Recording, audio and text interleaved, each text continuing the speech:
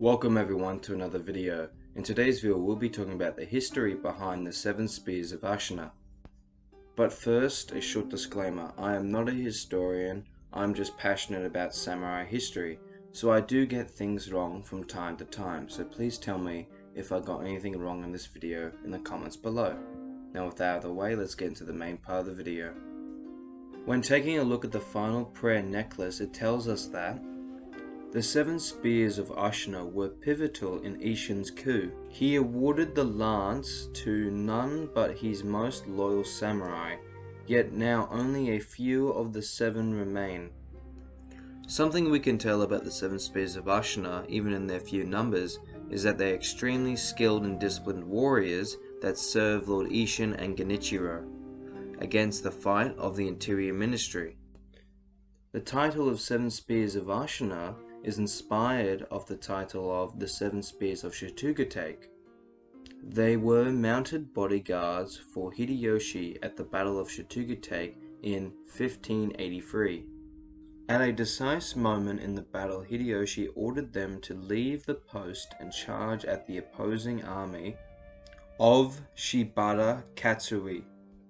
After Hideyoshi gained control of Japan, many of the members of the Seven Spears of Shizugatake were promoted to daimyo. In Sekiro, there are two spears of Ashina. In today's video, we'll be talking about the first one that we meet, named Shikibu Toshikatsu Yamauchi. There are two people that I believe could have inspired the first seven spears of Ashina, a husband and wife. Yamauchi Kazutoyo was a retainer for Oda Nobunaga and later Hideyoshi.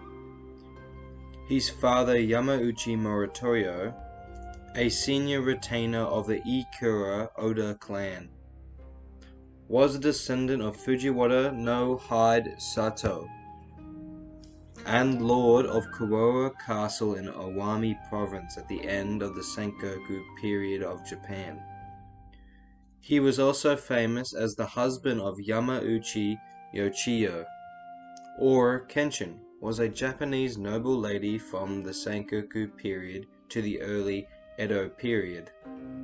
Known in history for her dedication and devotion to her family, she was extremely important to the success of the Yamauchi clan, a samurai clan under the leadership of her husband, Yamauchi Kazutoyo.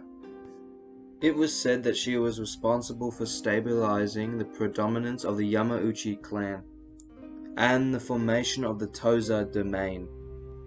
This could also mean that this particular Seven Spears of Ashina warrior is part of the Yamauchi clan, who was hired by Lord Isshin to join in the fight against the Interior Ministry.